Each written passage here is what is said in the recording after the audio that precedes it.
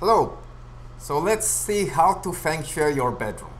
There are a couple things that you should not be having and sometimes uh, it's, it's strange asking the questions of, oh, why should my bed face this way or that way or what can I do with certain things? So we're going to kind of look into various examples. For example, this bedroom specifically, what's the main issue here? The main issue is that my job and my work is where I relax. So basically that is kind of blocking different things because while I'll be supposed to be relaxing, I'm actually always thinking of work. So the, the having the bedroom and the work area in the same place will kind of crash because we won't be able to sleep correctly. We will be always thinking on that laptop and that work or that job. Which i mean for some for someone that needs to relax is not good. For someone that needs to take a break is not good. Because uh, basically you wake up and the first thing you're going to see is work. Other thing that is important to see here is that uh, that chair is pointing with the back without any wall for example which is bad in feng shui too. Colors for example, in this bedroom are good.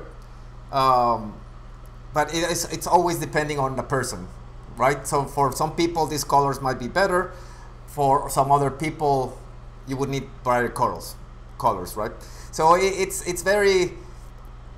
You can have colors that you like. You can have things you like because at the end of the day, this represents you, right? So not because uh, a feng shui consultant says it has to be red, you have to put red unless you actually love the colors you have. One of my first uh, rules doing Feng Shui is buy things that you actually like and love and throw away the things that you don't like. So for example, if those green pillows are not your style and I'm saying, let's put green, I'm not the last word because at the end of the day, this is reflecting your own self. In this case scenario, for example, the main issue for this bedroom is that we cannot see that door. So anybody could open it and we will jump scared because basically uh, we cannot see the door. Now if we position the bed in the other side, then we could see the door and the window. So we won't be struggle or scared when somebody comes in. So we always would be relaxing in this room. Um, another problem here again is like we have the bedroom in the in a work area, right? Which again is kind of like not being able to relax by having that. Of course, there's situations where you can not, not do something like that, and there's some things you can do, right, to make it more comfortable. But uh, again, from a feng shui principle, we should not have that table there, right? Uh, other thing important here is that that bed is all tucked up in the corner. Uh, to be able to actually have a balanced life, you have to have two sides where you can come in, right? So here, if I mean, if it's a student, that's fine to have it like that. But if it's a couple, then that would be kind of an issue, right? Because there will be no balance between them. For example, here is a good example of what your bed might look like, where you have two nightstands, two lamps, one has certain things which the other has, which balances out a relationship, right? Uh, pillows, I mean, the colors, again, it depends on, on the type of person you are, can ref reflect different things. But if we go to the core items, are two walkways that we can go each side. We can go into the bed easily.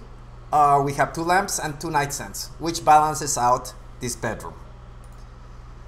For example, in this case, um, we have the same problem as, as the one with the student, right? Uh, while the walkway here in the left side, you cannot see who's coming in. So that will impact you and wake you up, right? So you will always be sleeping and thinking, oh, somebody might come in. That's something like also from Feng Shui perspective that you should not uh, have your back to a door, right? Uh, because you cannot see it. Uh, in this case scenario, for example, uh, uh, we have these blinds that cut the energy because they're like little knives, right?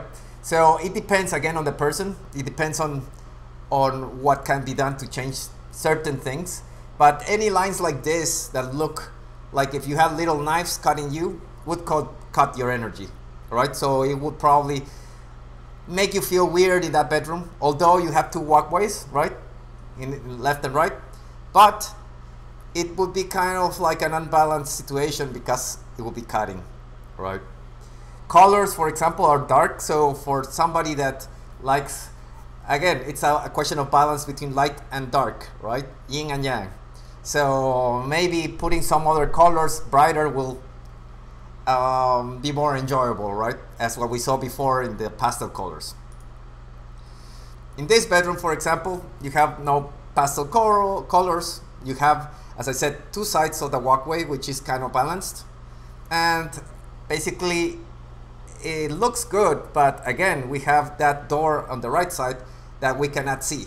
So by not being able to see, we're encouraging in, a, in an issue, right? Um, other important thing is in the back, if you see that uh, uh, picture behind, it looks like water and water should never be in the bedroom. Um, other little things that you can see is the little couch here in the, in the lower level. Um, it's blocking that area. So blocking areas means you're also going to block something within your life, right? So bedrooms, for example, it doesn't matter um, if you think like, oh, bedroom is the love area or or bedroom is, is, is a specific feeling of it where you relax. Yeah, it is certainly that, but in Feng Shui, this room can be located anywhere. It can be located in the money area, it can be located in the fame area, it can be located in the health area, and that will impact the colors you will use and the type of element you're working with, right? Because here you have a green with a little uh, brown, so that means you're using more wood element, which might be good for that area or might not be. So Feng Shui has certain rules and, and of course it has to be organized and of course you should not be uh, having your back to the door uh, as a base. And that's a good starting point for everybody. Thank you very much.